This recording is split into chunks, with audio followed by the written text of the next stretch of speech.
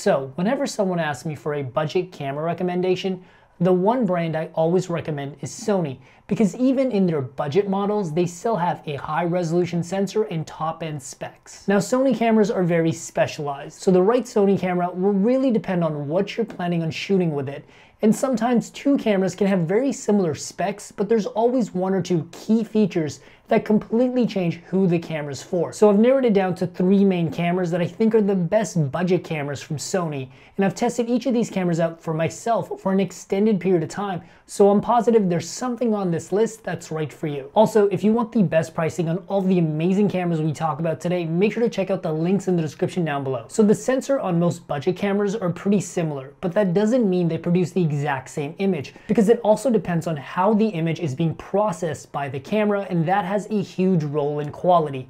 And it also depends on the physical design of the camera because that plays a huge role in usability and if the camera is actually better for video or photos and if it's a fun camera to use. And the a6400 is without a doubt one of the most budget-friendly cameras from Sony, but it's also a really easy and fun camera to use. The a6400 has a 24 megapixel APS-C size sensor, which might seem like a standard sensor, but like I said earlier, it also depends on how the camera processes it. And the a6400 sensor actually has a few tricks up its sleeve. The sensor in the a6400 is actually a back illuminated sensor, which means it's exceptional at high ISOs, and you can really see this when shooting in low light, and it's one of the best low light cameras you can get in a budget category.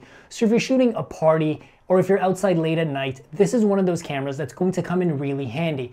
And it also has a built-in flash for photography. In terms of photos, it shoots at 10 frames per second, which is super fast, and this camera is good for anything from sit-down portraits to parties or if you're traveling. And the autofocus itself is super reliable in both photo mode and video mode.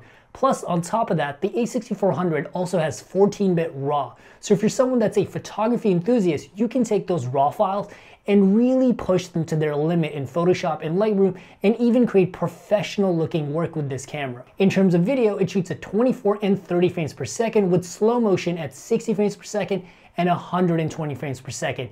And on top of that, it also has S-Log and cinema profiles. So if you're someone that wants to do any kind of color grading to your image and you really want to make your images look cinematic, this is a camera that allows you to do that in both photo mode and video mode. And chances are, if you're a casual photographer or video shooter, you probably won't care about these extra features, but it's nice to know you have that raw power available if you ever decide to get serious and if you ever sell this camera, it's simply going to be more valuable than a camera that doesn't have these features.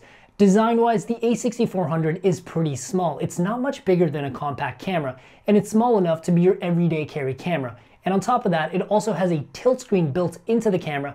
However, this tilt screen only flips up to the top to see yourself, so it does not flip up to the side, which may or may not be a deal breaker depending on how you like your tilt screen. But one thing that I have to mention is that the electronic viewfinder on this camera is so good way better than any budget camera should be. And this is going to be really useful for hardcore photographers or people that like to use the electronic viewfinder when shooting photos. And the a6400 also has an input for an audio jack because the internal audio in the a6400 really isn't that great. And this is not a camera that you can easily vlog with without an external microphone. In terms of button layout and design, it's pretty much exactly what you would expect from a Sony camera. All the buttons are laid out in a really good ergonomic fashion.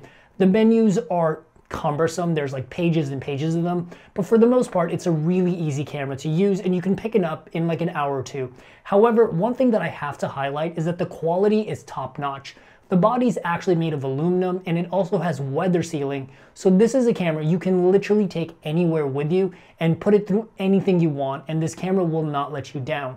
And on top of that, everything from the buttons to the hinge feel really well made. It really feels like a pro camera in your hands. Overall, the a6400 is a phenomenal everyday casual camera that does have a little bit of extra horsepower so you can get really serious with this camera if you want to, and it comes at a really great price considering the high resolution and specs in this camera. But most people don't want to become a camera expert, they simply want to have fun while taking photos and videos. So Sony had this bright idea of making an ultra easy to use camera for people like us who just want to have fun while shooting photos and videos.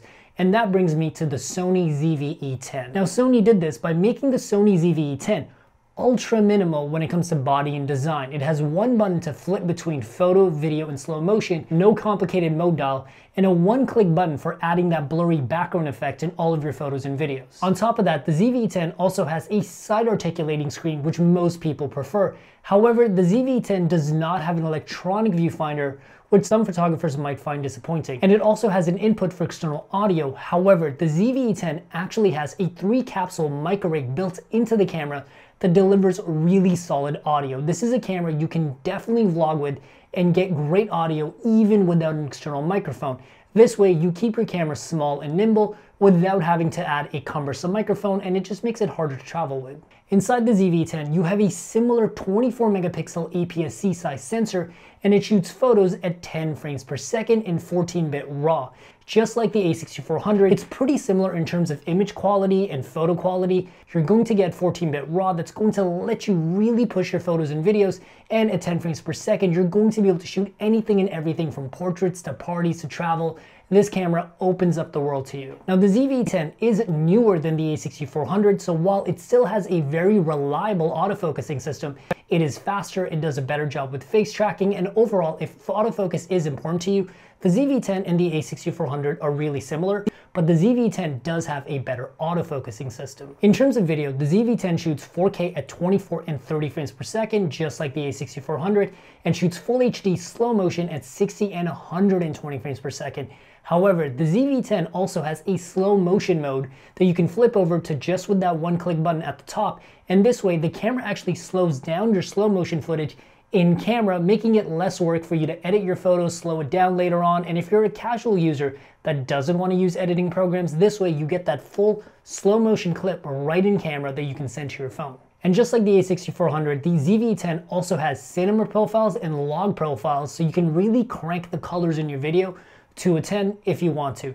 The ZV-10 is also made for more of a social media audience, so this is really a camera that I would look at if I plan to do any kind of YouTube, Instagram, TikTok. This is really meant to be a creator and casual camera. Overall, the ZV-10 is one of the easiest cameras to use in any category, not just budget, and it also has a bunch of new tech in it that really makes your life a lot easier. If you're a casual user or someone that wants to do something on social media, this is a camera that I would definitely recommend over the a6400 just for the quality of life features like the side articulating screen and the built-in three-array microphone.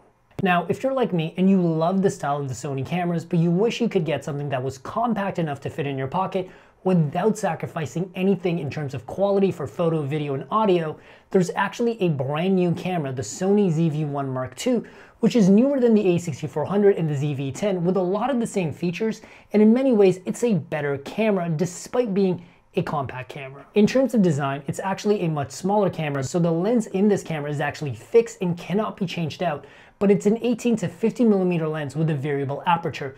The lens is wide enough so you can do any kind of vlogging and get really scenic wide shots on it, but you can still zoom in with this lens and get close-up portraits or just get zoom in close-up shots. However, this lens does have a variable aperture, so when you're shooting on the 18 millimeter side of this lens, it's phenomenal in low light, but when you're shooting on the 50 millimeter side zoomed in, it's not very good in low light. But you've probably noticed the ZV-1 Mark II actually has the exact same button layout as the ZV-E10.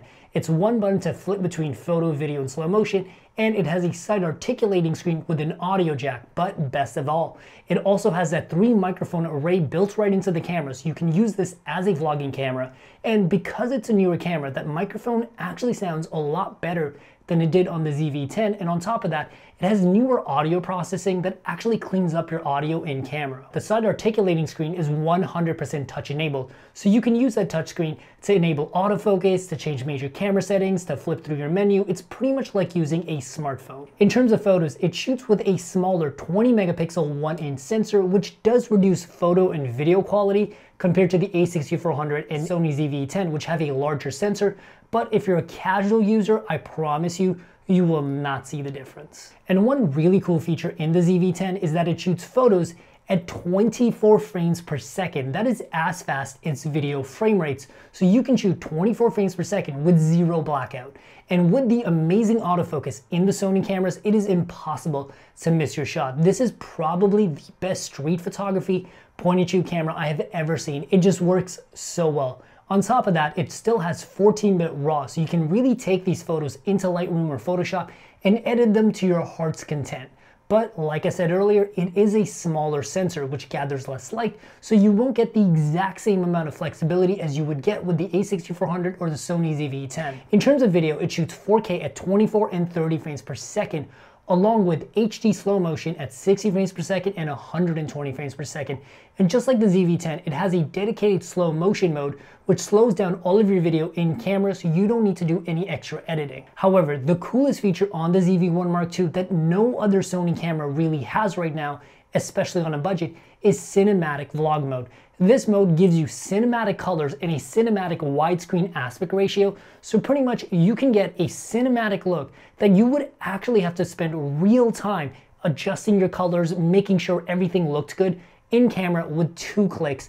This is a great feature for anyone that wants to shoot casually, but you want your photo to look like those Instagram bangers and those cool YouTube videos you see. And if you're someone that's a new creator, someone that's just starting out with cameras, this is a great camera to pick up and with cinematic vlog mode, you can literally take the most basic video and crank it up to 10 with just two clicks. Considering the price of the ZV-1 Mark II and the specs and features you get with this camera, it's a really good deal. It's a budget powerhouse pocket camera in your pocket. And if you wanna make sure you get the best possible pricing on your camera gear, make sure to check out the links in the description down below and I will see you guys in the next video. Peace.